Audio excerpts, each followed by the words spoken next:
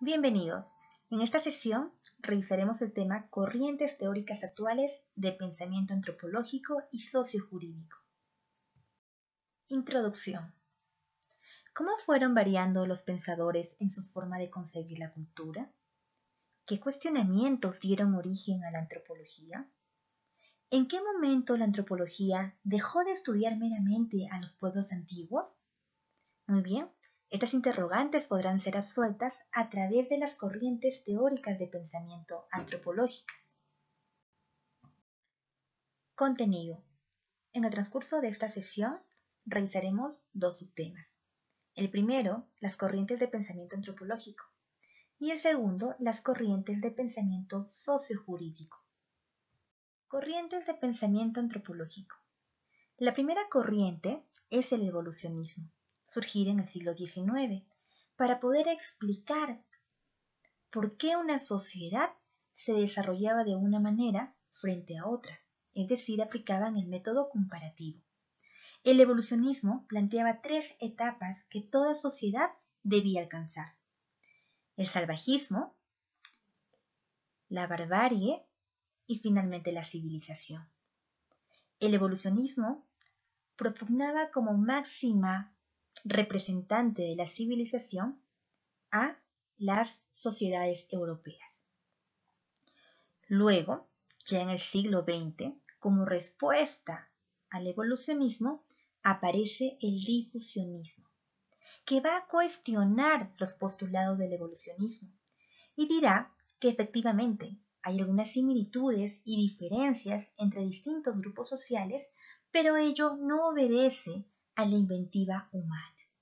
No obedece a la creación propia del ser humano de forma automática, sin conexión con otros, sino que por el contrario obedece a este afán expansivo que existen entre los grupos humanos, esta necesidad de desplazarse de un lugar a otro para ir difundiendo cultura.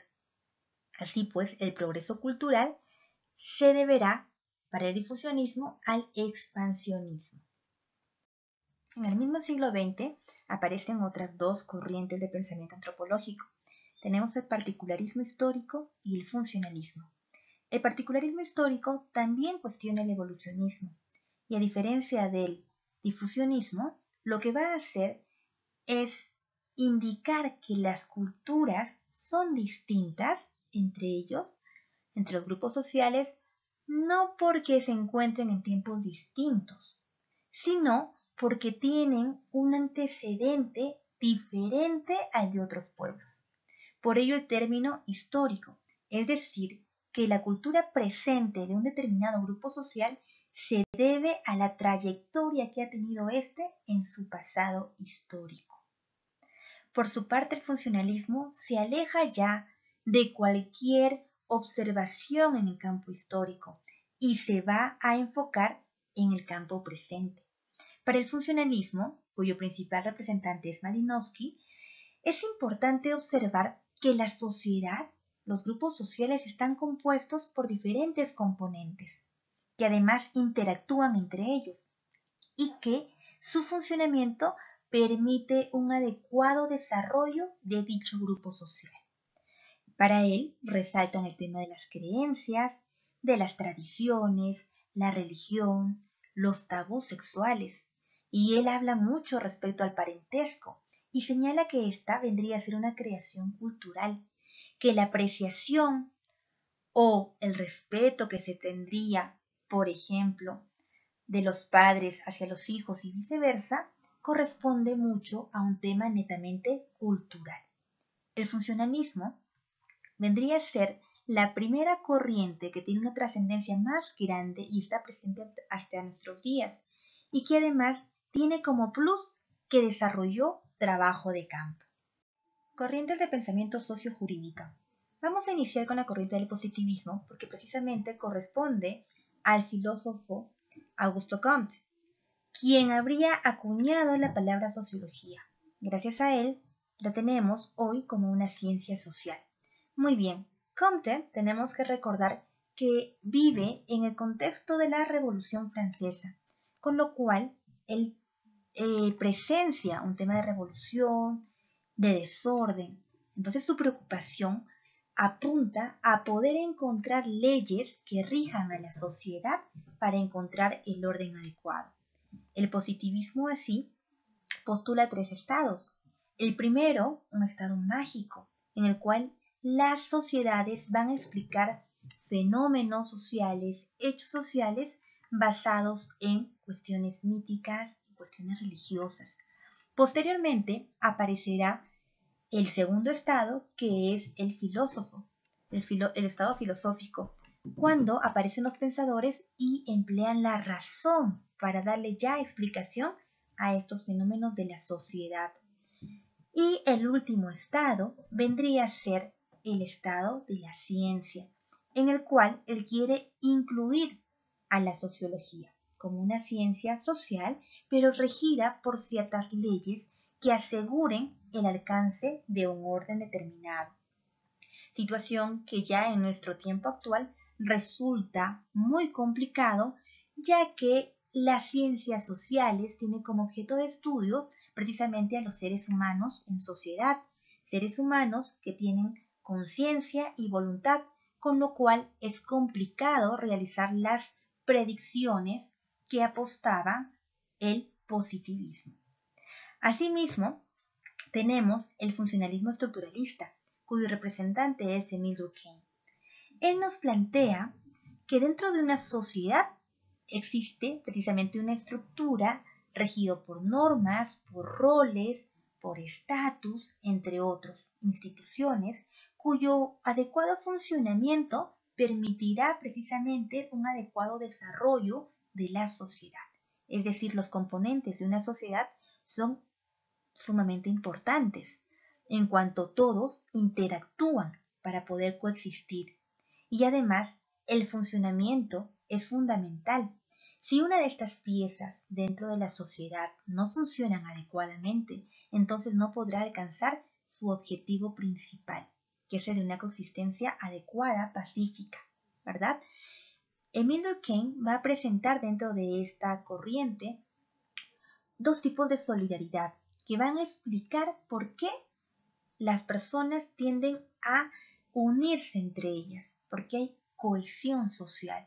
La solidaridad mecánica, que se basa precisamente en un tema de valores, en un tema de algún elemento en común que maneja la sociedad, costumbre, religión, gustos, etc. Y la sociedad o solidaridad, en este caso, orgánica, que obedece a la necesidad, de, a la interdependencia que tienen que tener justamente los miembros de una sociedad para coexistir adecuadamente. Siguiendo con las corrientes de pensamiento sociojurídico, observamos ahora el materialismo histórico y la teoría comprensiva. El materialismo histórico tiene como principal representante a Carlos Marx y propone que las sociedades han ido cambiando a lo largo del tiempo gracias al modo de producción que ha ido variando para cubrir necesidades de las personas que forman un grupo social. Quiere decir que estas sociedades, vistas en la necesidad de cubrir precisamente eh, necesidades básicas, han ido produciendo bienes y servicios. En el siglo XIX, donde se da el materialismo histórico, nos ubicamos en un contexto de la revolución industrial. Entonces Marx advierte que gracias al modo de producción de ese tiempo se van a distinguir dos principales clases sociales. Dos clases sociales que vienen a ser opuestas. Por un lado, el proletariado, que viene a ser la clase explotada. Y por otro, está la burguesía, que vienen a ser los explotadores según la percepción de Marx.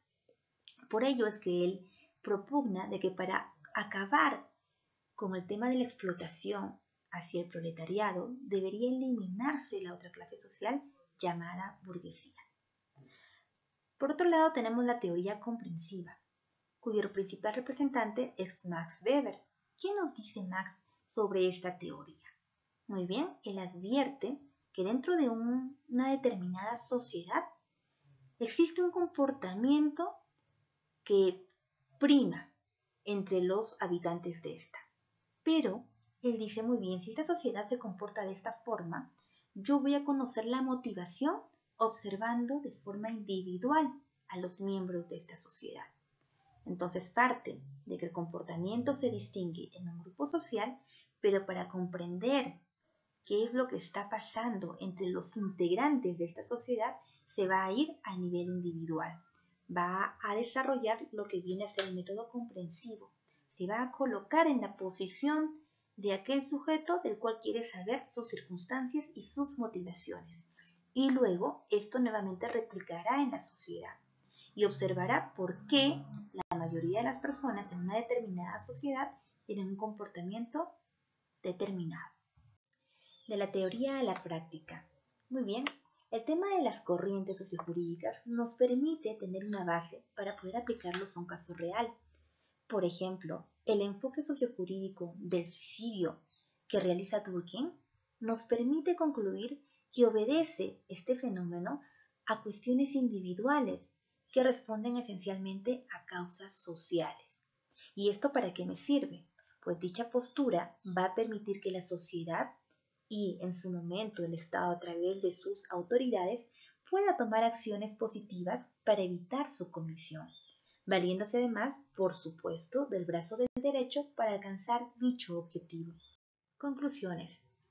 Las corrientes de pensamiento sociojurídico nos permitirán realizar los enfoques necesarios sobre la sociedad a fin de aplicar normas justas.